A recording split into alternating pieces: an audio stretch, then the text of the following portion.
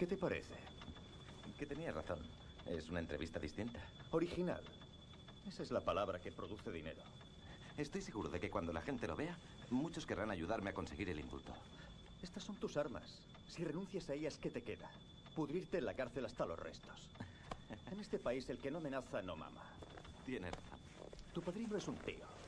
Pero como policía tira siempre por lo legal. Al paso que va, te va a llevar el indulto al cementerio. ¿Y de guita, cómo andamos? Te he traído un adelanto de mi dinero, ya sabes. Yo hago el reportaje y luego lo vendo al mejor postor. Por este te darán un bastón. No creas.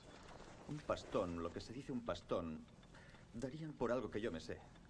Pero me da corte pedírtelo. Es peligroso. ¿De cuánto hablas? De 30 a 40 kilos para los dos. A medias. Por esa guita soy capaz de jugarme el cuello. Es que te lo tendrías que jugar. Prepáralo. Sin saber de qué se trata. ¿Qué más da? Muy bien, valiente.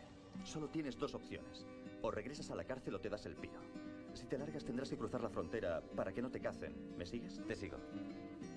¿Te acuerdas de cuando eras un crío? Cómo entrabas y salías de Francia a toda pastilla, partiendo las barreras mientras te acribillaban en los dos lados? Joder, sí me acuerdo. ¿Cuántas veces te iría? Ninguna. No mientas. Bueno, una vez. Una rascada en el brazo. Pero porque lo llevaba colgando. Chulo el muchacho. Pues bien. ¿Qué te parece repetirlo cobrando? ¿Cobrando 30 millones? O más. 15 para ti y 15 para mi equipo. Hecho. Pues al loro. Tenemos solo día y medio para prepararlo. Y no es moco de pavo el invento.